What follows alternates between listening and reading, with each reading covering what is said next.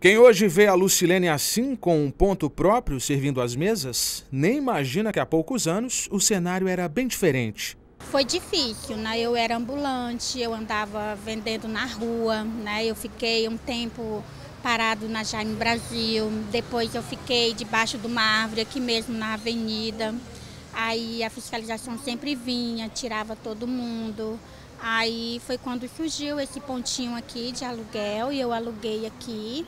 Já estou aqui já há quase quatro anos, né? E graças a Deus tem dado tudo certo. Mas, com muito trabalho e bem orientada, ela soube que poderia ir além. Trabalhar formalmente, sem medo, com margem de crédito, pagando impostos e tendo a oportunidade de investir numa aposentadoria. Tudo isso pagando muito pouco e tendo um acompanhamento especializado para que a lanchonete alavancasse ela se tornou uma microempreendedora individual. Foi quando eu pensei, não, vou abrir a minha empresa, né, para que eu possa ter outras oportunidades melhores, né? Quem foi que te deu essa orientação, dizer assim, Lu, abre um, um, um MEI, quem foi? Foi o Sebrae? Como foi? Foi, foi o Sebrae, né? Eu fiquei sabendo, né, das oportunidades que o MEI tinha. Então eu fui lá, abri minha empresa, para que também futuramente se eu precisasse de empréstimo, para que melhorasse o meu trabalho, né? Para que eu aumentasse a minha empresa. Aí foi quando eu fui lá e abri a minha empresa. Gostou do MEI? Gostei, gostei. A gente tem algumas oportunidades, como por exemplo o INSS, se caso de uma necessidade de doença, né? Você tem uma garantia e, e você também pode contratar mão de obra, assim você pode estar ajudando outras pessoas que precisam trabalhar. Uma das vantagens em se tornar um microempreendedor individual é que a sua empresa passa a constar no Banco de Dados do Cadastro Nacional de Pessoas Jurídicas, o CNPJ. Formalizado, esse negócio pode inclusive contratar, fechar negócio com poder público por meio de licitações. E outra, no meio desse trâmite aí de todo esse processo, o MEI ainda é dispensado de uma série de impostos. Basicamente, esse empreendedor tem três impostos obrigatórios. O primeiro é o INSS, que é a aposentadoria oficial. Custa algo em torno de 50 reais. Depois tem o ICMS e o ISS, que são impostos pagos ao governo do estado sobre a circulação de mercadorias ou de serviços. Também custa aí por volta de 50 reais. Pronto. Só isso e você já está regularizado.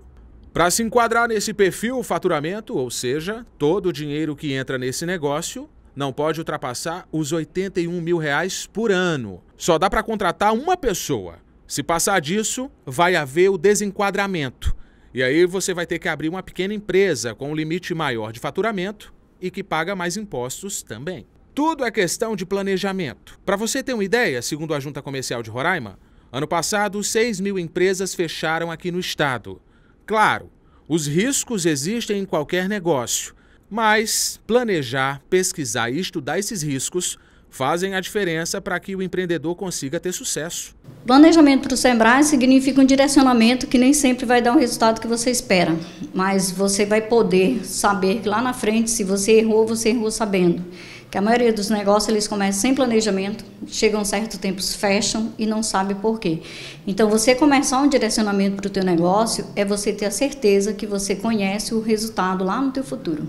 Eu considero para mim, a vantagem prioritária é o direito de comprar e vender legalmente. Embora a política social é para o MEI ter uma inclusão como empresário no mercado e ter direitos previdenciários, né, o que fala a legislação.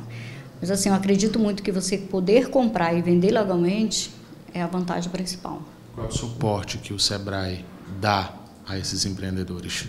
O Sebrae ele orienta desde o momento que você tem uma ideia, né? eu tenho uma ideia de ter um negócio, não tenho definido, onde a gente tem um atendimento que a gente chama de Sebrae Nova. É, o Sebrae te orienta na parte do registro, né, da formalização, como é que você vai fazer seus controles, como é que você vai trabalhar mercado, fazer um planejamento estratégico. O Sebrae ele te orienta toda a parte de gestão. Só que você precisa ter tempo e ter realmente a vontade de querer aprender. Né? O Sebrae ele te dá essa orientação básica, gratuita, né?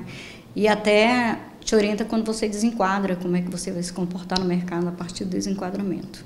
E já que a gente está falando em sucesso, não tem termômetro melhor do que o elogio do cliente, né? Você toma café aqui na Lu todo dia? Todo dia. Porque eu gosto do café da Lu. Ela é bem limpinha, tem higiene, ela sempre usa touca. Eu adoro o suco de laranja dela. Todo salgado dela é tapioca, feito na hora. Eu gosto muito do lanche dela. Contratei uma funcionária, que no caso é a minha irmã, trabalha comigo, me ajuda aqui todos os dias, o dia todo. E, e, assim eu ajudo ela e ela me ajuda, né, com a mão de obra. Tá feliz? A empresa está prosperando? Sim, estou muito feliz. Graças a Deus tem dado tudo certo, né? E só a melhorar cada dia.